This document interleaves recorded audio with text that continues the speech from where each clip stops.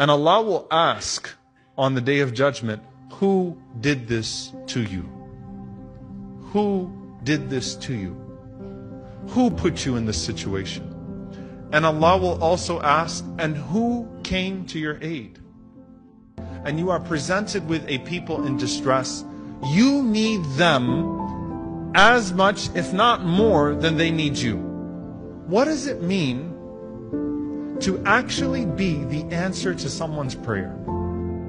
How beautiful is it when that person raises their hands to the skies for you? No barrier between them and Allah subhanahu wa ta'ala, and then you meet them on the day of judgment.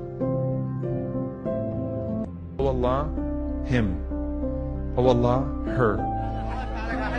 That is the one who came to my aid, who refused to forget me, who refused to neglect me.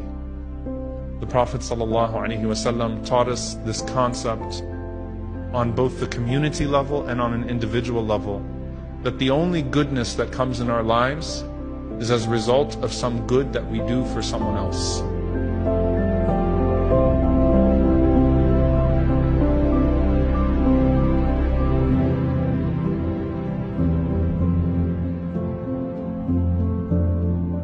Know that Allah subhanahu wa ta'ala hears them and may Allah subhanahu wa ta'ala allow us to hear them as well.